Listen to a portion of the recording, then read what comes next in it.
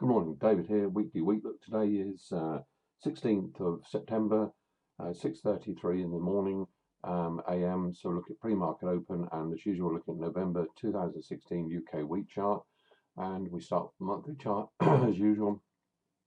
And you can see here that we've got a red month at the present moment um, as we're coming get, getting into September, and you can see here obviously we had this fall in in um, August, uh, we hit high here just under 34, and obviously we're coming back last night's close at 22.60, um, just below the month lows at 22.60.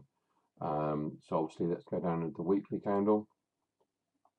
So we've got at the moment here we've had this is the uh, we've had three falling months prior to this this week. Th sorry, three three weekly falls um, here we are, you can see them clearly on here. And at the moment we're forming at last a green candle um, coming back here, testing support round the 120, 121 level. Um, pop down into the daily chart.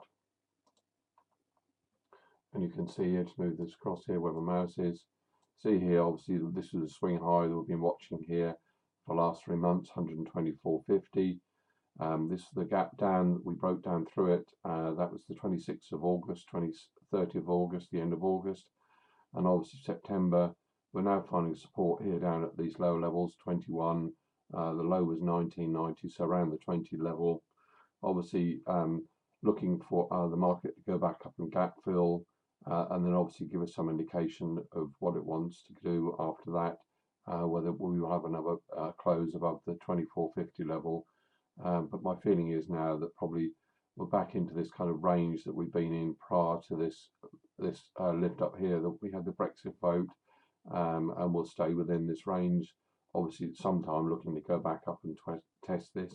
124 125 uh, what's the gap? 125.50 gap there. Um, if we just look at currency Uh, this is the pound against Deutschmark, and you can see here I've marked on here, it's on the daily chart here, that the low of the Brexit level was 13,235 and last night's close was just above it. So obviously we've gone back in the range on the currency as well.